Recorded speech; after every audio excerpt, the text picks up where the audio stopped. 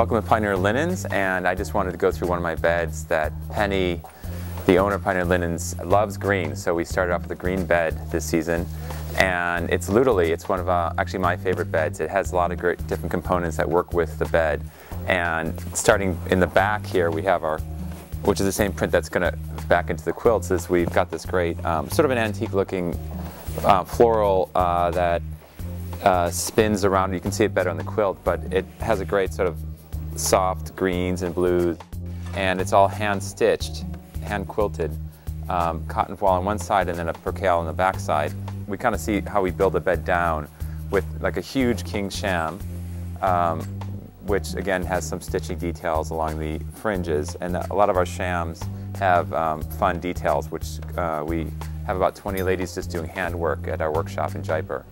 And so if you start looking at the edges of the pillows, you'll see like a chain stitch here um, and then you'll see like another one, you know, on all the decorative pillows, uh, we have some great details like that. And uh, the pillows are all block printed.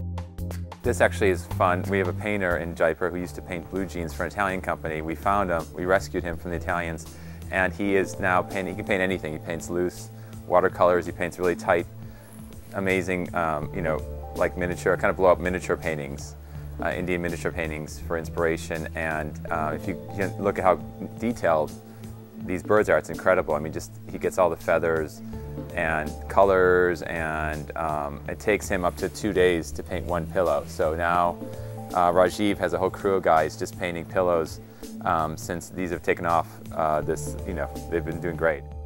You know, we've added fun things like we, we make some turbans uh, in Jaipur, which um, when you go to an Indian wedding now, it's really hard to tie a 15 yard piece of fabric into a turban. So when you go to the market, you can buy pre-made turbans, almost like a fakey bow tie. Um, and then we go down to um, our hand-stitched cotton blankets. Again, the cotton voile, which is my favorite fabric. Um, only the Indians weave this amazing soft voile.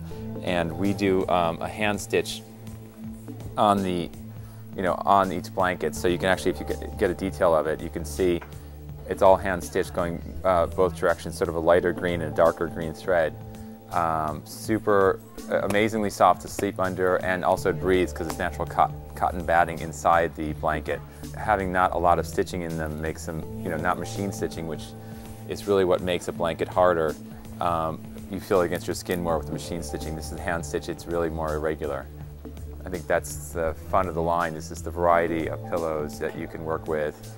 Um, you can build up a different bed, different stories, and uh, have a lot of fun.